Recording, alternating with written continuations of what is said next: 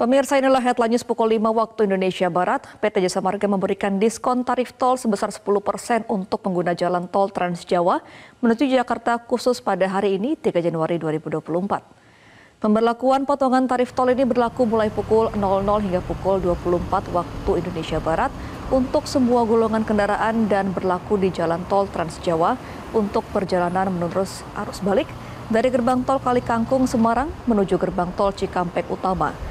Diskon tarif tol ini diberikan untuk mengantisipasi terjadinya kepadatan arus lalu lintas saat arus balik libur tahun baru.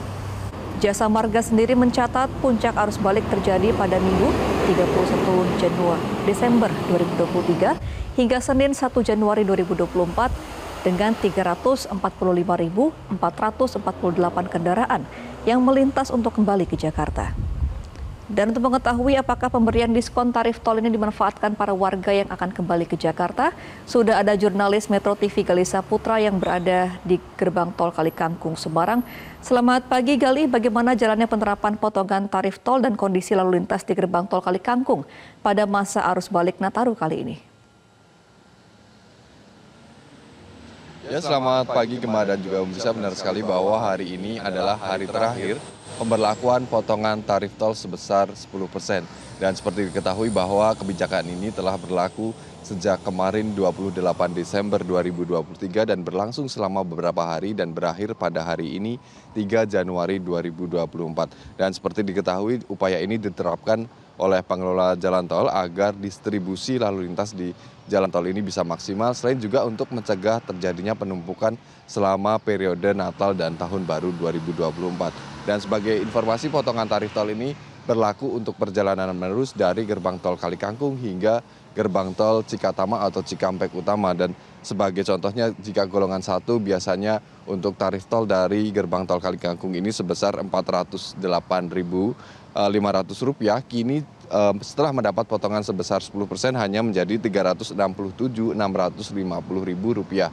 Kemudian untuk golongan kedua eh, juga biasanya Rp630.000 kini eh, menjadi Rp567 ribu rupiah dan uh, begitulah potongan juga berlaku untuk semua golongan yang melintasi gerbang tol Kali Kangkung hingga gerbang tol Cikampek Utama atau Cikatama. Dan selain adanya potongan uh, tarif tol sebesar 10% ini berbagai kebijakan juga uh, diterapkan oleh pengelola jalan tol. Dan selain itu juga ada uh, himbauan kepada para pengguna jalan selama masa arus balik Nataru ini di antaranya ialah untuk uh, memastikan kendaraan dalam kondisi prima, kemudian juga memastikan kondisi kesehatan para uh, pengendara atau pengemudi ini selama uh, menempuh perjalanan di jalan tol, selain juga untuk uh, memastikan ketersediaan atau ketercukupan BBM maupun saldo uang elektronik sehingga tidak terjadi ketersendatan ketika melakukan tap in di gerbang tol Kalikangkung maupun ketika melakukan tap out di gerbang tol Cikampek Utama atau Cikatama.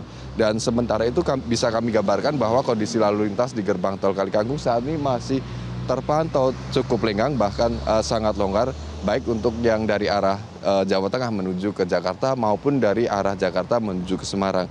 Dan jenis kendaraan yang melintas pun jika kami perhatikan juga sudah cukup beragam.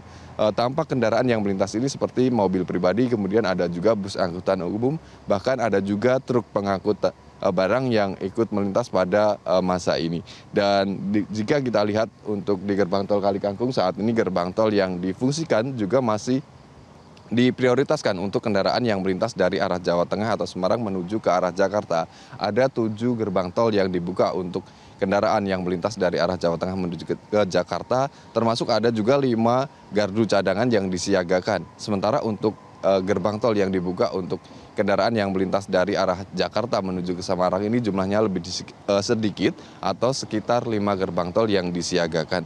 Dan kemudian jika kita lihat uh, saat ini masih terus melintas kendaraan yang mengikuti arus balik dan kemungkinan ini jumlahnya akan terus bertambah nantinya seiring dengan berakhirnya periode Natal dan Tahun Baru tahun ini. Untuk sementara demikian yang dapat kami laporkan dari Gerbang Tol Kalikangkung kembali ke studio Gemah.